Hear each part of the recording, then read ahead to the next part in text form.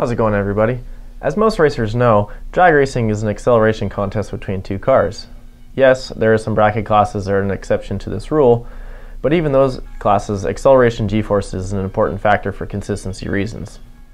Many often wonder why we here at RacePak always refer to g-meters as being so important. Well, because they are. In short, if you're not accelerating forward, you're not getting the fullest performance out of your race car. This works in conjunction with tire slippage. When you're looking at RacePak graphs, always remember to pull up acceleration g-force and drive shaft RPM together. Reason being is if you have increased drive shaft RPM and decreased acceleration g-force, you're not moving forward to your fullest potential. Using these two channels together can help you learn to control your wheel speed, thus gaining maximum performance out of your vehicle.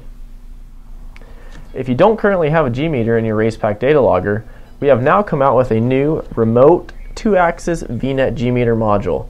This new G-meter VNet module can be used in conjunction with any of our RacePak data loggers, such as an LDX dash or our new IQ3 drag racing data logger dash.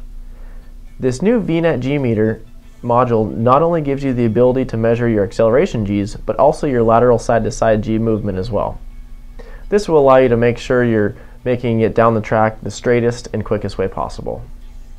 So be sure to check out our new remote 2-axis G-meter VNet module for those LDX or IQ3 loggers that don't have equipped G-meters built in. It's a real snap. You just stick it on there with some Velcro and read it into your VNet and off you go. So be sure to take the guessing out of your runs and order yours today.